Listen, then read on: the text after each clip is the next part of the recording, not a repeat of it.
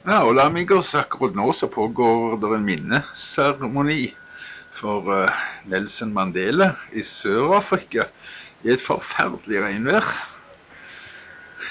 Ja, været her er ikke like godt som i går, men regnvær er det i hvert fall ikke. Det har kommet noen lette slørskyer. Jeg tror ikke de vil eh, by på noe stort problem utover dagen. Hva dagen ellers medfører, det vet ikke helt. Sykkeltur i alle fall. Jeg holder på å laste opp sykkeltur fra i går på YouTube nå. Kommer ikke på denne kanalen, den kommer jo på den som heter Arild Helgeland i ett ord. Så det er der du må se hvis du skal se den. Dette er jo bare for været. Ja, været altså. Lette slørskyer. Fint vær.